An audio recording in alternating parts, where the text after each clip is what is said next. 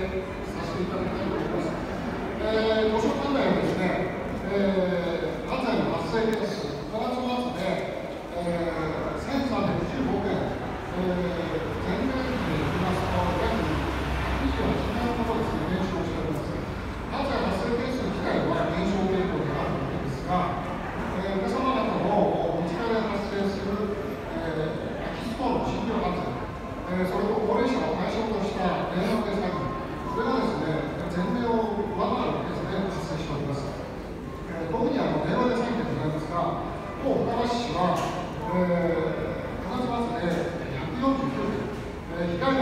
約1億8000万円という長期ですね、え、発生しております。それでまあ、気象法別で言えば、残念なことで、え、ワースト1位という、え、そういう事態になっております。えー、そういう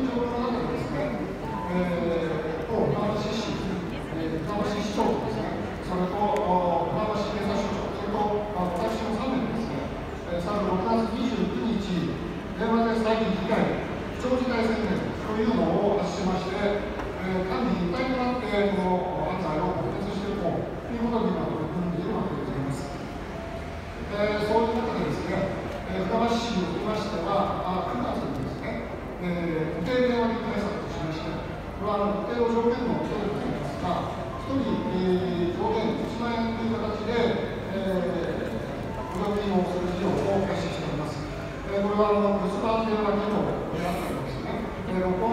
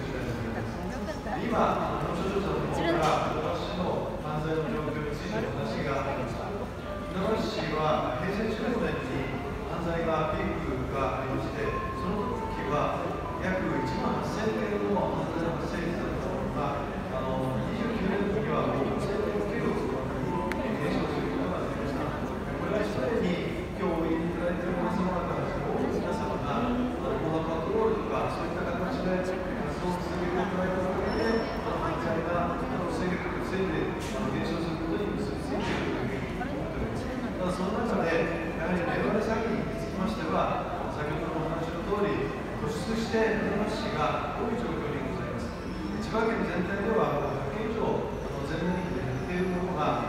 船橋市の場合は29件でもう明らかに船橋市がターゲット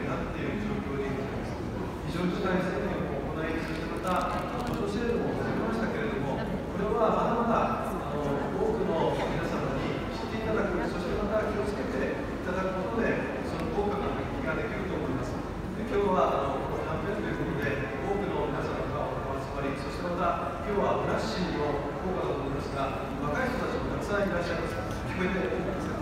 あのぜひですねあの自分のあのお母さんお父さんそしておじいちゃんおばあちゃんにこんなことあるから絶対気をつけなきゃダメだよその電話機能がこの犯罪をしていることにもつながりますで今日は多くの皆様と一緒にこの犯罪キャンペーンを成功させて安全で安心な街を作るために大きな成果を上げていただくことを心から期待をして日頃の能力を兼ねてのご挨拶に感謝させていただきます本日またよろしくお願いしますどうもありがとうございます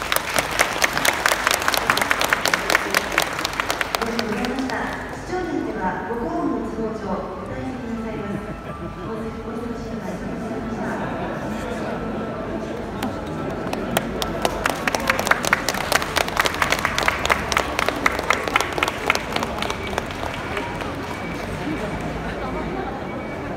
今回の配布日は、船橋市の名産品な梨となります。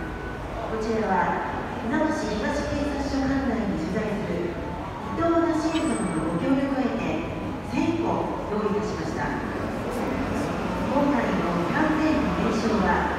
犯罪梨キャンペーンとなっています。これは犯罪の梨と果物の梨とを語呂合わせしたものとなります。地域一丸となり犯罪なし特に